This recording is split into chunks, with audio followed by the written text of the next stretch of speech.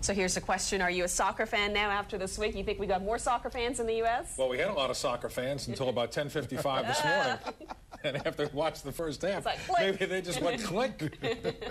Hope not, at least for ABC on the weekend. The United States has supposedly made great strides in World Cup soccer, but today it looked like a return to square one. Team USA drilled by the Czech Republic. The Czechs scored five minutes into the game and routed the United States 3-0.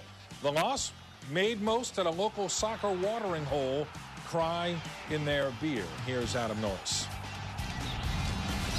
In a sparsely populated mid-city block, passion and patriotism packed Finn McCool's. The pub has become the unofficial home for the New Orleans soccer community.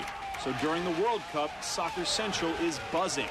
I actually arrived in New Orleans during the, the, World Cup in 1990, and it was shown on TV at the time, but there was actually commercial breaks during the game.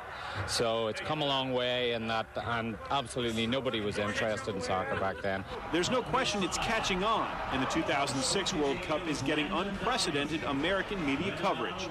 Luckily, you know, the World Cup now been getting so much attention. We got a friend in there that, you know, never watched soccer before, but he's into this World Cup. Despite those new fans, soccer still stands on the fringes of the U.S. sports landscape.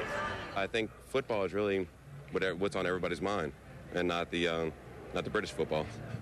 But Americans love a winner, so for soccer to ever gain true traction in this country, our national team will likely have to score a major success on an international stage.